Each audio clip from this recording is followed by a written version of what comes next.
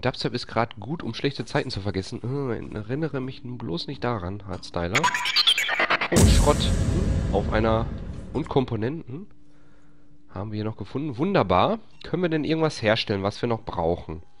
Eine MP-Granate fehlen uns noch ein paar Sachen. Molotov-Cocktail auch. Medikit auch. Ansonsten sind wir eigentlich gut ausgerüstet, was das angeht. Das heißt, wir können weitergehen und den Plasmaschneider benutzen. Bitte nicht spoilern, wer das Spiel kennt. Ich würde mich freuen, ja. Wie ist die Grafik? Die Grafik ist total geil. Ihr dürft mir es nicht übel nehmen, wenn der Stream halt nicht so bombastisch läuft, halt äh, ein bisschen pixelig. Ich habe halt keine super schnelle Leitung. Das wird sich aber bald ändern. Ich bekomme bald meine 150er Mbit-Leitung und dann... Huch, warum ist denn hier so dunkel? Hallo? Kann mal einer den Lichtschalter betätigen? Und dann dürft ihr natürlich in HD die Let's Play Live-Show verfolgen und das wird richtig geil. So. Ach, jetzt weiß ich, wo wir sind. Wie geil ist das denn? Oder? Oder irre ich mich? Tatsache! Ich werd bekloppt. Wir sind wieder am Anfang des Spiels. Nein! Und wir brauchen immer noch hier eine Verbesserung des Ionenschneiders. Wir sind am Anfang des Spiels.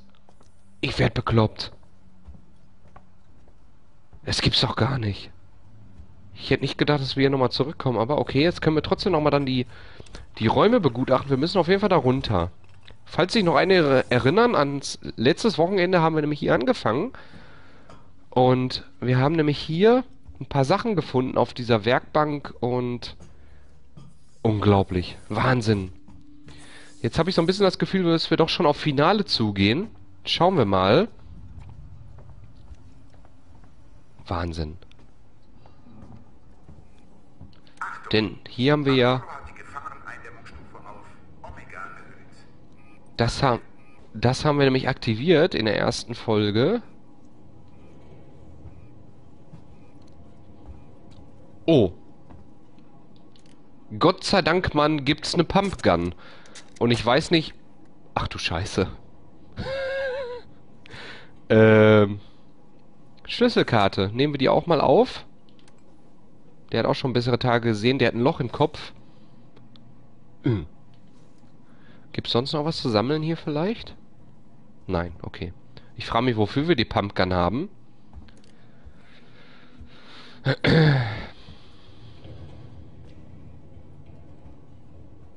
Äh, komisch, habe ich einen Test gelesen, da haben sie die Grafik bemängelt.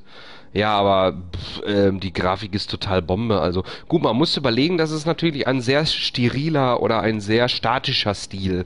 Ne, weil es ist halt dieses klassische äh, 70er, 80er Raumschiff-Style äh, Stil halt ist gut muss man sich mit anfreuen, aber ich finde es total geil. Wer Fan von der Reihe der Alien und, und die Alien-Spiele gespielt hat, die anderen alle, muss ich sagen, die anderen waren alle nicht so berauschend, aber das ist echt ein Alien-Spiel, wo ich sage, Wahnsinn. Und wir haben eine Pumpgun. Ich werde bekloppt. Wir haben tatsächlich eine Pumpgun. Ach du Scheiße. Und die sieht noch geil aus. Dann schauen wir mal, wo wir jetzt hinkommen.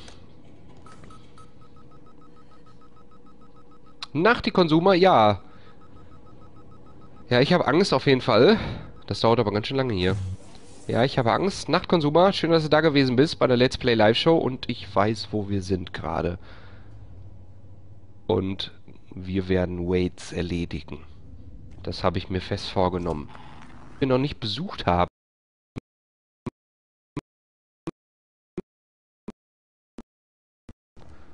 Und speichern wäre mal toll. Ich muss mal eben kurz auf die Karte. Ich will ja eigentlich nicht auf die Karte gucken, aber ich würde gerne speichern. Ich weiß, dass da oben einen Speicherpunkt gibt. Und hier kam nämlich auch nicht das Alien an dieser Stelle. Das heißt, wenn wir Glück haben, kommen wir hier zum Speicherpunkt.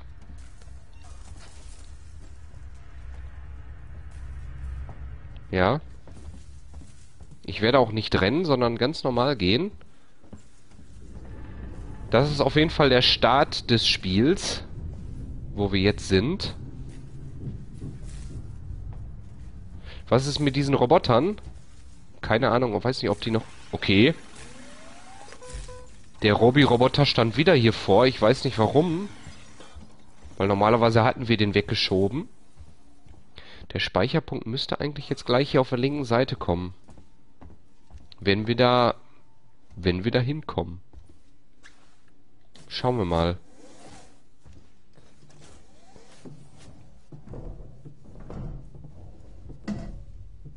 Sie läuft auch ein bisschen komisch.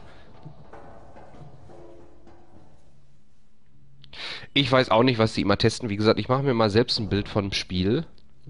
Und ich wusste schon vorher, dass es sehr, sehr geil wird, Alien Isolation. Und sie haben nicht gelogen, was die Trailer angeht und alles.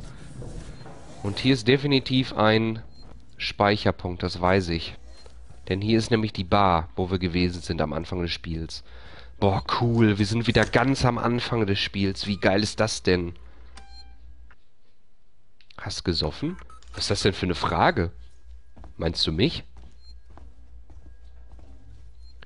So, schauen wir mal. Wir hatten hier auf jeden Fall, ich kann mich entsinnen, dass hier eine Tür war, die wir erst öffnen können, wenn wir einen äh, Plasmaschneider, glaube ich, hatten oder so.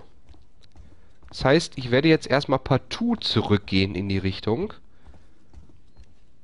Nicht jetzt, um das Spiel in, in, in die Länge zu ziehen, sondern um euch alles zu zeigen. Das ist übrigens auch eine Tür, wo wir noch nie waren, wo wir auch nicht hinkommen bis jetzt. Gucken wir mal. Rise of Rome soll angeblich die beste Grafik haben. Xbox One. Ja, in den Trailern sieht's ja geil aus, ne? So, hier ist zum Beispiel eine Tür, die konnten wir nicht öffnen. Gucken wir mal, können wir die jetzt offen machen? Verbesserung für den Ionenschneider, also kommen wir hier immer noch nicht rein.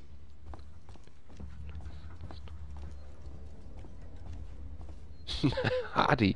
Reflex, dass du jedes Wochenende drängst, das wissen wir ja. Was soll das denn heißen? Okay, ich werde hier mal rennen. Ich fühle mich ein wenig sicher. Nein. Hier brauchen wir den Ionenschneider, die Verbesserung. Okay, also sind wir quasi umsonst zurückgelatscht. Mein Gott. Aber hier ist auf jeden Fall das Anfang des Spiels. Sollen wir denn nochmal weiter zurückgehen? Ist denn da noch irgendwas Besonderes? Nee, eigentlich nicht, ne? Nee. Okay, dann gehen wir wieder die richtige Richtung.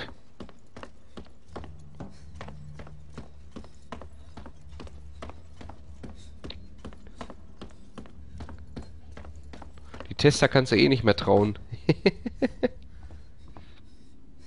Achte auf rote Kreuze. Okay. Danke für den Tipp.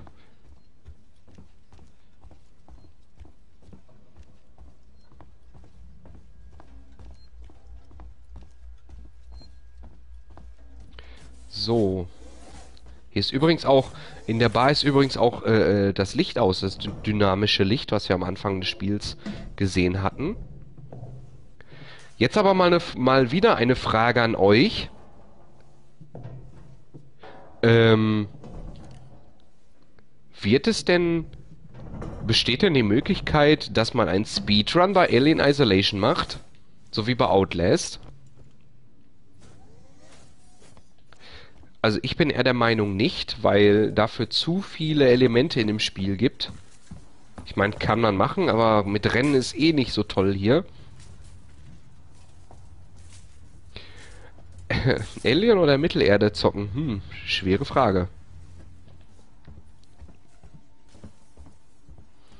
Also bei Outlast haben wir schon so, so, so viele Speedruns gemacht. Aber ich glaube, bei Alien wird es echt schwierig, sowas zu tun. Schauen wir mal, wie, äh, wie die Überlebensmodi so sind.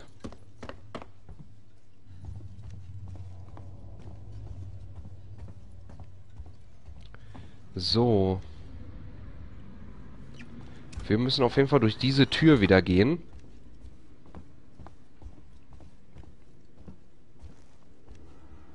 Nein, Sascha. Hab's versucht, das Alien kommt immer random. Da läuft der Speedrun nicht. Okay. Mein Gott, das ist irgendwie ein cooles Gefühl, wieder an dieser Stelle zu sein wie am Anfang des Spiels. Das macht so irgendwie das Ganze richtig geil. Genau, das Alien ist für Speedrun zu random. Zu random. Ähm, okay.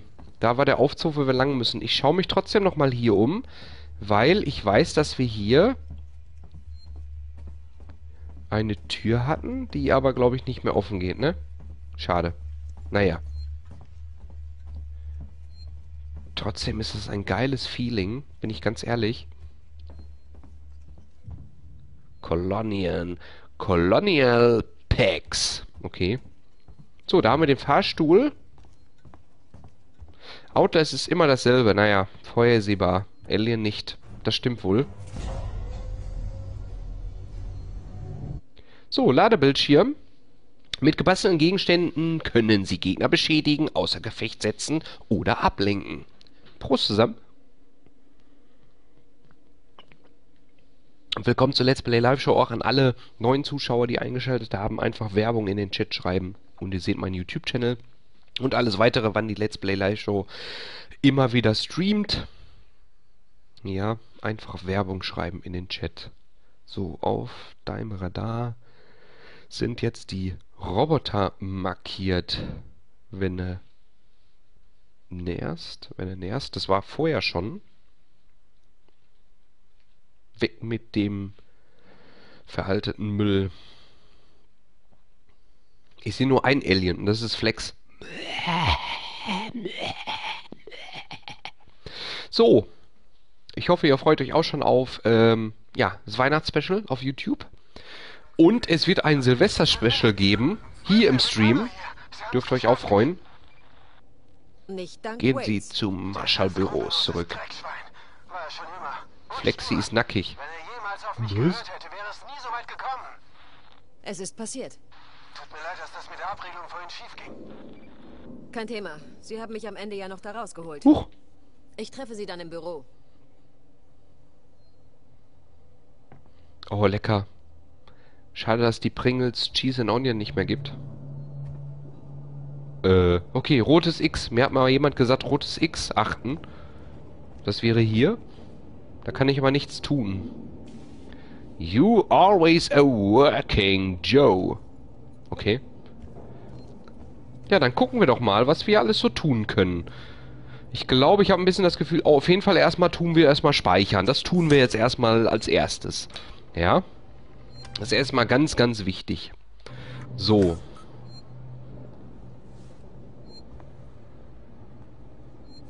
Silvester von der Konsole hängen ist uncool. Ich kann dir aber nochmal was sagen, was uncool ist. Silvester auf der Arbeit hocken. Bei Frühschicht. Ist noch uncooler. Und ich gehe definitiv dies Jahr nicht um 22.30 Uhr im Bett und um 0 Uhr höre ich es draußen knallen, weil ich am nächsten Morgen Frühschicht habe.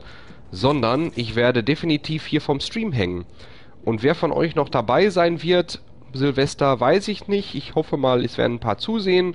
Wenn ihr auf Party seid, ist auch schön. Freut mich natürlich für euch. Und wenn ihr bei mir seid, freue ich mich natürlich umso mehr. Ja? Einige werden vielleicht da sein. Schauen wir mal. Oh, hier. Hier haben wir den Putzroboter. Der sieht voll lustig aus. Hm. Äh, Harold keeps Sevastopol clean. Harold heißt er. Harold, der Putzroboter. Was haben wir hier? Tür verschlossen.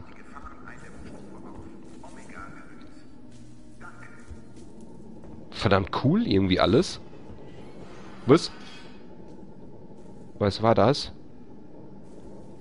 Ich glaube, jetzt fängt das Gruseln wieder an. Da quasselt einer. Psst.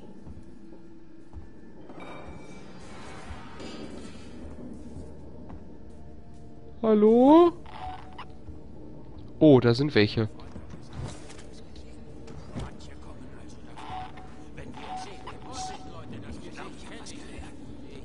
Sie, verschwinden Sie hier.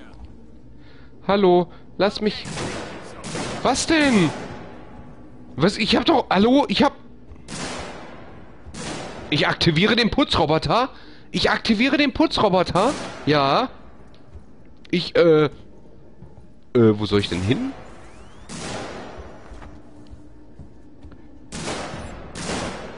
Öffnen Sie die... Das... Äh, öffnen Sie die Sicherheitsgitter der Galerie. Mhm.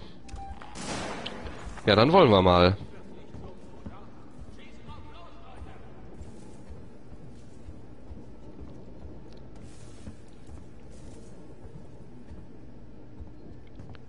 Trinke eh nicht, Silvester.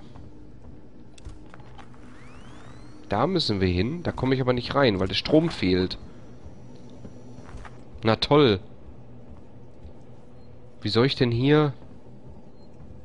Okay, jetzt geht das große Suchen wieder los. Da ist noch eine Kiste, die haben wir noch übersehen. Sehr schön. Aktiviere echt den Roboter und folge ihn. Ich glaube, das ist auch, glaube ich, der Tipp. Deswegen ist da oben auch dieser Harold. Harold, der Bodenstaubsauger.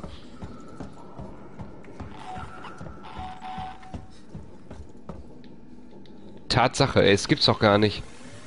Hey, wir folgen einfach mal Harold. Wally, könnte man... Oh, ist ja schnell.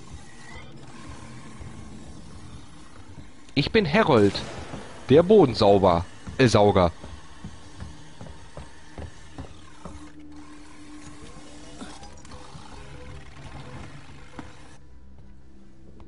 Cool.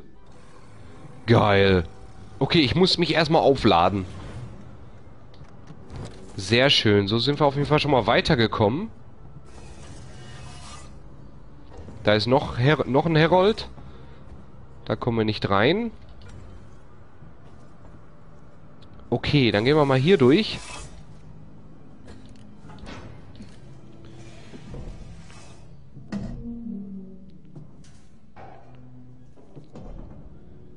Bye bye, Shelly. Ja, gute Nacht, Shelly. Mach's gut. Schön, dass du da gewesen bist.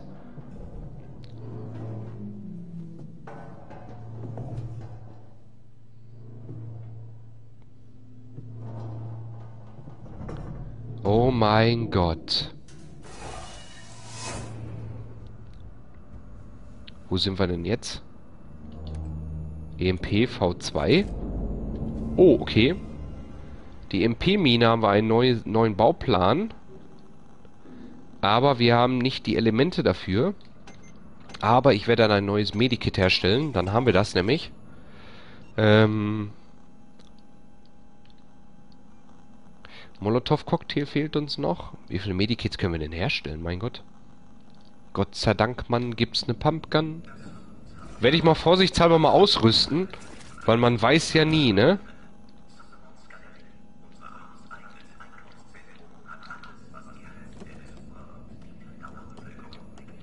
Das klingt super.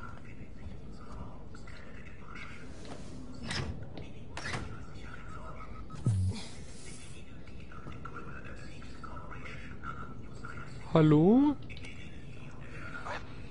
Ich habe schlechte Nachrichten. Etwas stimmt nicht mit den Androiden. Mit den Androiden stimmte was nicht, seitdem ich hier angekommen bin. Genau. Nein, das ist was anderes. Sie haben ihre Posten verlassen. Ich habe eben einige von ihnen in einem öffentlichen Bereich entdeckt. Das ist nicht normal. Okay. Super. Passen Sie auf sich auf. Auf jeden Fall. Schauen wir mal hier in die Tür. Und gucken wir mal, wo wir da hinkommen. Ach, hier müssen wir rein. Okay, dann werde ich aber trotzdem erstmal mich hier umsehen. Weil es kann ja nicht verkehrt sein. Da brennt irgendwas. Boah, es sieht mit dem Feuer auch total geil aus. Ich weiß, bei euch sieht das nicht so mit dem... Bisschen mit dem Verpixeln so ein bisschen schlecht aus. Tut mir auch leid. Wie gesagt, keine super High-End-Verbindung. Kommt ja bald die 150er Mbit-Leitung bei mir. Dann in HD. Die Let's Play Live-Show. Ich denke mal, wahrscheinlich nächstes Jahr wird das soweit sein. Ich freue mich schon. Sieht ein bisschen aus wie der Strom. Als ob der Strom da pinkelt. Naja. Okay.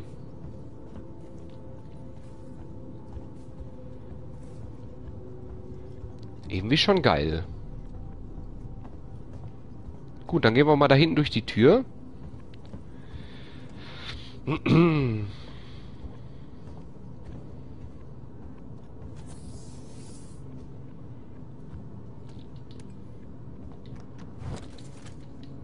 Eine Leuchtfackel war da auch drin.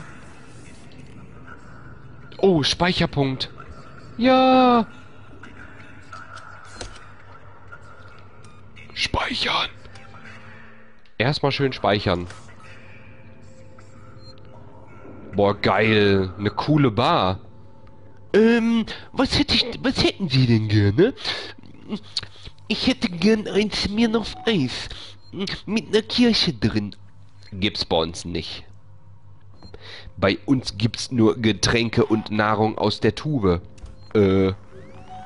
Ich habe schon mal das komische Geräusch gehört, wie als wenn ein Alien kommen würde. Ja, werde ich auf jeden Fall. Hi Bully, schön, dass du da bist. Willkommen zur Let's Play Live Show.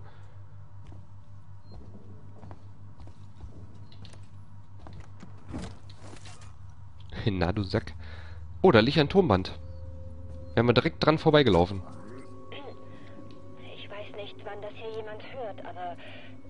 Irgendjemand muss Aufzeichnungen hinterlassen und ich weiß nicht. äh, Ich kam vor einigen Monaten hierher, um über den Zusammenbruch eines Traums zu schreiben.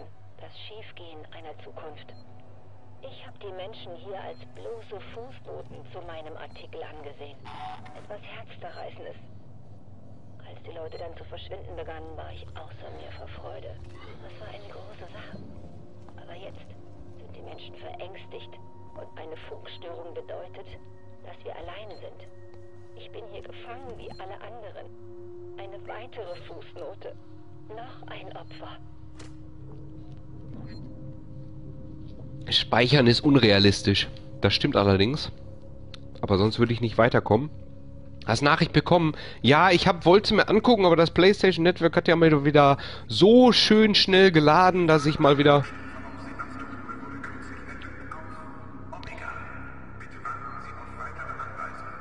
Dass ich mal wieder dazu kam, so ganz schnell das Bild zu sehen, aber äh, kam ich leider nicht zu. So, was muss ich denn hier tun? Ähm, Strom wiederherstellen. Ja, super.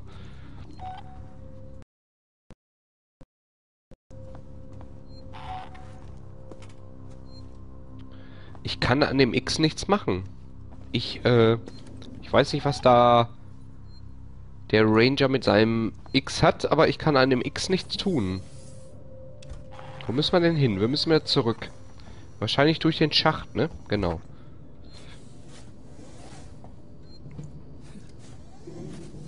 Der Sound ist richtig Bombe. Was ist mit den Androiden los? Ich habe keine Ahnung. Und was ist mit der Änderung der Gefahrenstufe? Verdammt, ich habe keine Ahnung. Ich versuche Samuels zu kontaktieren. Vielleicht weiß er, was zum Teufel Apollo hier anstellt. Unerlässlich. Achso, nicht unrealistisch. Achso, okay, Entschuldigung, habe ich mich verlesen. Tut mir leid. ähm, nee, der Sound ist echt richtig geil. Also wer, wer das mit Kopfhörer spielt, kann ich nur jedem empfehlen, bitte mit Kopfhörer spielen und, ähm, und Vollbildschirm und alleine im Dunkeln, also Bombe. Kann ich nur jedem empfehlen. So, was haben wir denn hier Schönes? Oh, eine Schlüsselkarte. Da ist ein Terminal, was wir nicht benutzen können, aber hier können wir den Schalter benutzen, den Strom wiederherzustellen. Das machen wir doch direkt. Power Level.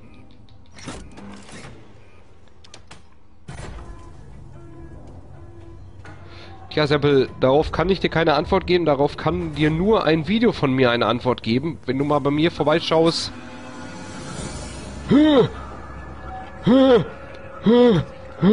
Auf YouTube. Schau einfach mal vorbei.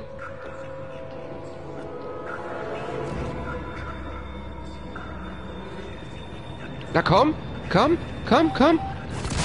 Bam. Du auch? Du willst auch was? Ja, du willst auch was?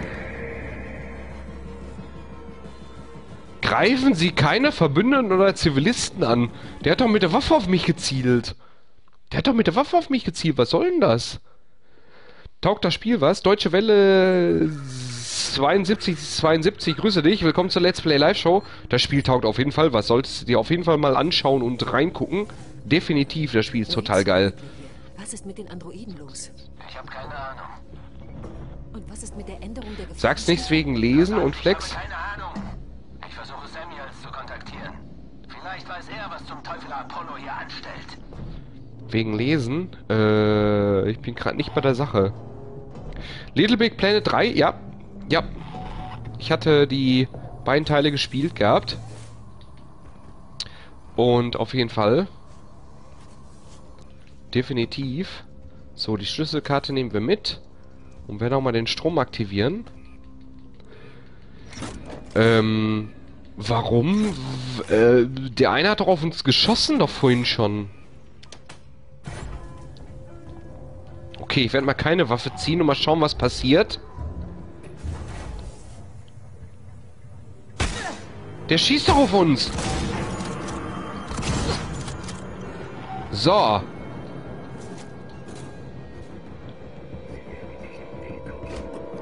Was, was, was, was?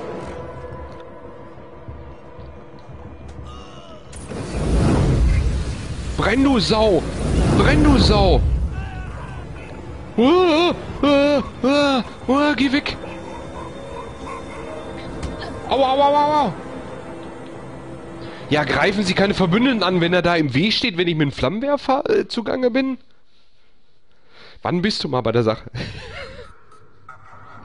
Was sind das für blöde Störungen im Menü? Welche blöden Störungen? Welche blöden Störungen sind im Menü? Was ist mit den Androiden los? Ich habe keine Ahnung. Und was ist mit der Änderung der Gefahrenstufe? Verdammt, ich habe keine Ahnung. Ist verschoben worden? Samuels zu kontaktieren. Vielleicht weiß er, was zum Teufel Apollo hier anstellt. Erst fragen, dann schießen. Okay, da sind auch noch Androiden, die noch rausrasten, die wir schleunigst umgehen sollten, aber ich würde gerne die Dings retten, die da sind, die Zivilisten. Okay, dann probieren wir mal den äh, erst die Pumpgun und dann den Elektroschocker für die äh, Androiden aus. Also erst Pumpgun und dann äh, komm mach die Tür auf.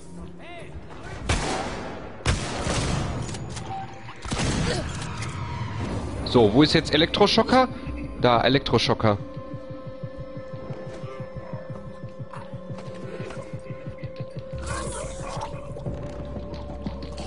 Hallo? Achso, ich muss ja nachladen, ne? War doch so irgendwie, ne? Oder? Wie lade ich denn nochmal nach?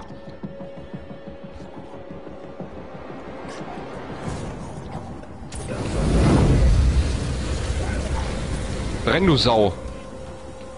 Oh, scheiße, wir haben keine Mo... Ah, ah. Nein, nein, nein, nein, nein, nein, nein, nein, nein, nein, nein, nein. Nein, nein, nein, nein, nein, nein, nein, nein. Au, au, au. Boah, Gott sei Dank. Boah.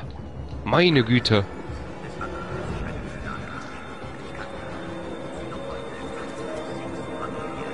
So, ähm...